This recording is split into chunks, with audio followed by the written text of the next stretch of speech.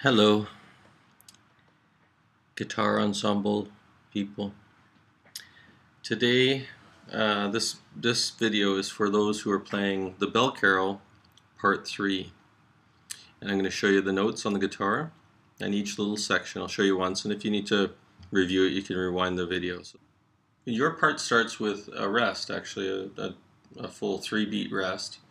So it'll be like this one, two, three, B, two, three, one, two, three, E, two, three, one, two, three, B, two, three, two, three, E, two, three.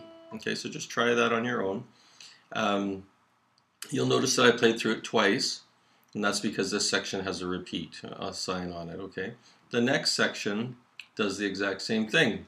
You go one, two, three, B, two, three, one, two, three, E, two, three, one, three, B, two, three, one, two, three, E, two, three.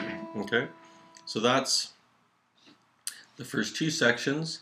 Uh, actually, the third section you do the same thing. And so, but this one, this time it doesn't repeat. So you go one, two, three, E, B, two, three, one, two, three, E, two, three. And then you start in with the, the main melody, which we've practiced in class. And so you got your third finger on G on the E string, third fret, second finger on the second fret, which is F sharp. You go back to G and then you let go of both for the open E string. When you're plucking with, with your right hand, down, down, sorry, down, down, up, down. And that's important so that you can get the speed that we want for the song. So you do that four times with this next section. So I'll do it again.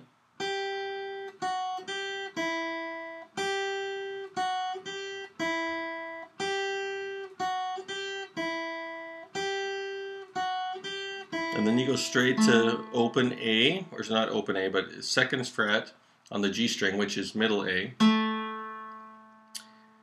And then the next note is E, which is second fret on the D string. So you're going second fret, two, three, second fret on D. A, E, two, three, A, two, three, E, two, three. Now this part, this section repeats, so you go back to doing the four times on this pattern and then to A.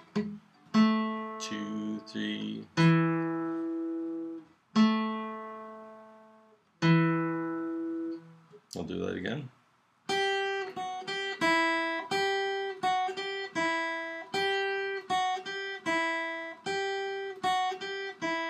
A, two, three, E, two, three. A, two, three, E, two, three. Now the next section is your little solo. So you go and you're you're gonna play this with part four people. It'll be open B for three uh, beats, then C sharp, which is the second fret on the B string for three beats, and then D, C, B, each for one beat. D, third fret, C, first fret, B, open string. And then you do a little quick little open E to D to C to B again. So all together it sounds like this. B, C sharp, D, C, B, E, D, C, B. And without me singing.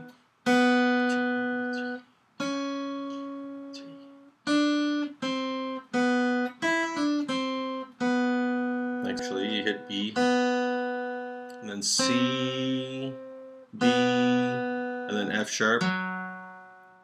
Now F sharp's tricky, that's the fourth fret, that's the one we did in This Land Is Your Land on the D string. Fourth fret with your fourth finger to E, which is second fret on the D string. So fourth fret on the D string to second fret on the D string. And we do that twice. And then, uh, so that whole section sounds like this. B,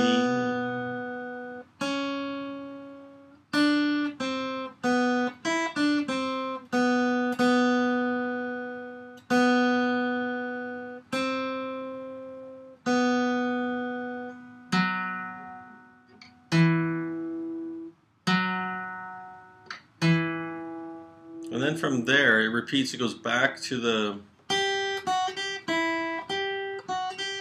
We go through that whole section again. I'm just going to show you the last part of the song. The last five measures of the song go like this.